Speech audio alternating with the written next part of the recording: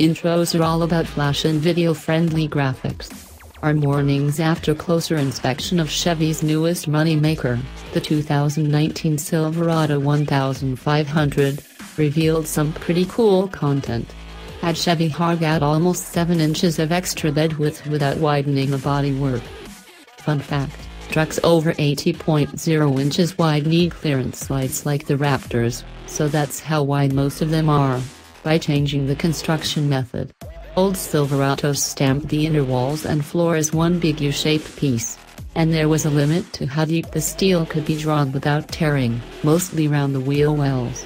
Now the walls and floor panel are three different stampings, so they can go way deeper. Fear not, there's still plenty of air between the inner and outer panel, so pointy cargo flying around in the box shouldn't dimple the exterior. Oh, and the 110 volt outlet back there can handle 400 watts, think circular saw. Chevy's signature corner bumper steps are now tall enough to accommodate a work boot and long enough to allow a better reach further forward into the bed. They also incorporate the side blind zone radar sensors.